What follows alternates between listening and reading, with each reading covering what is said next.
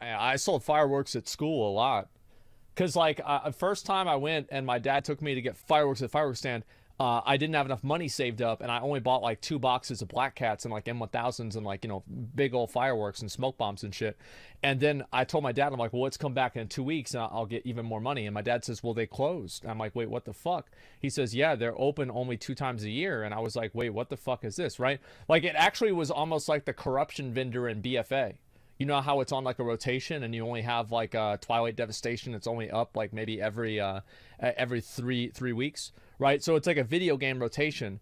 It's a FOMO mechanic. It is. And so what did I do? I saved all my lunch money every single uh, every single week. I would save my lunch money and I would spend like a hundred and fifty dollars on fireworks, I would take the fireworks to school and I would sell them to kids at school because you could sell them for way more money because like kids want to buy fireworks but they can't do it. But then I, I sell fireworks to them